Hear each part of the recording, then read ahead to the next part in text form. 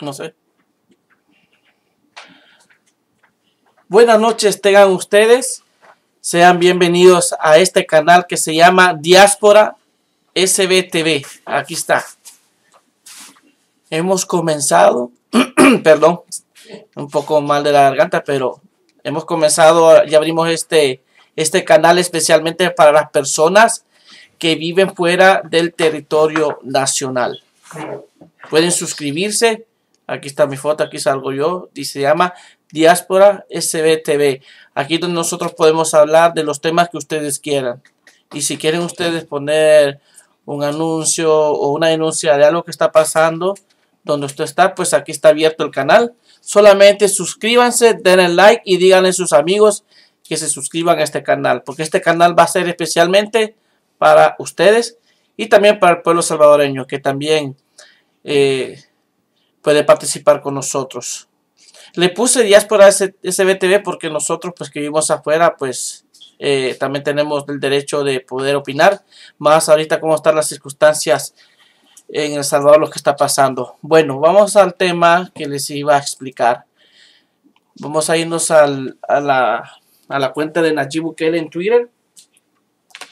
Bueno, como ustedes ya sabían que la semana pasada, pues eh, los dipusaurios, los dipurratas, todo lo que ustedes quieran decirle, aprobaron unas leyes para lo que es las votaciones o las elecciones del próximo año, en donde a la diáspora, pues, eh, no en su totalidad le han dado el apoyo suficiente para poder votar más que todo en, las, en lo que se respecta a los consejos municipales y sus alcaldes.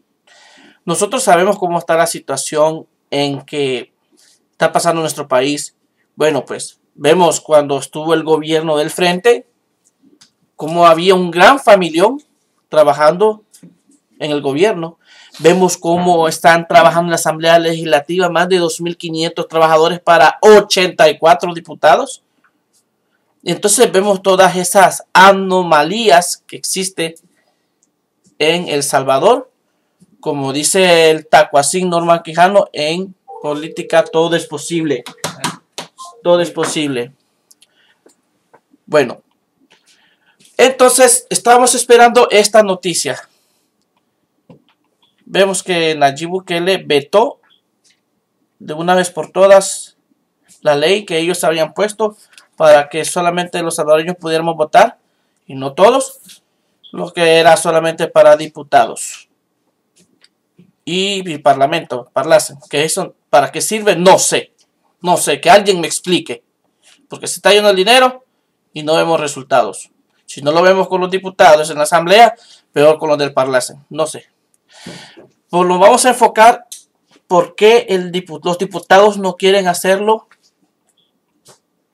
con los consejos municipales. Bueno, pues ustedes se dan cuenta, pues existe el FODES, donde ellos agarran un, del, presupuesto un porcentaje para sus municipios y vemos que no hacen nada porque se les dio mucho dinero y no veo de que ellos hayan arreglado calles.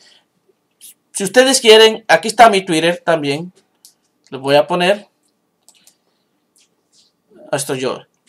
José Iraeta. Aquí pueden ponerme usted todas si usted quiere denunciar que mi calle no está bien, que este alcalde, póngalo. Nosotros vamos a tuitearlo y lo vamos a poner a todos para que lo vean. Este va a ser la voz de todos ustedes, mis queridos, mis queridos hermanos salvadoreños. Este es, miren, y síganme también. Aquí puede seguirme.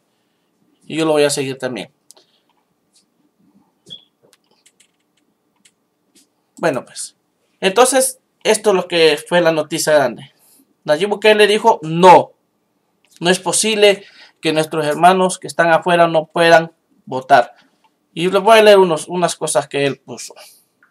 Por ejemplo, lo dice, esto es una violación sistemática del derecho al voto. El sistema está diseñado para los salvadoreños en el exterior no puedan elegir libre y directamente. Eso es lo que dice Nayib Bukele, nuestro presidente. Dice, este, este es edefesio legal es señal de la complicidad de los mismos partidos políticos de siempre para que los salvadoreños en el exterior no voten. Y vemos todos lo que dice aquí. dice, y hace un llamado. El llamado a los diputados es que trabajen en una ley que cumpla la sentencia de la sala de lo constitucional y garantice el derecho real al voto de los salvadoreños en el exterior.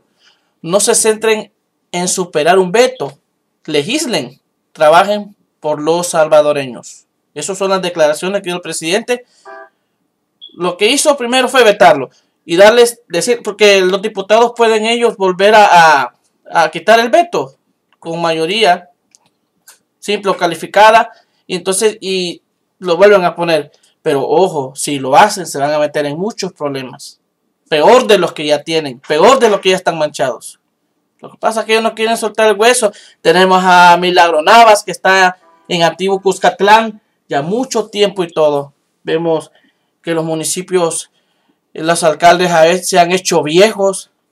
Llegaron jóvenes y ahora están ancianos ya, por Dios. Es decir, han agarrado las alcaldías como, como su vida, como el trabajo de vida como, y después como asilo. No, hombres, estamos mal.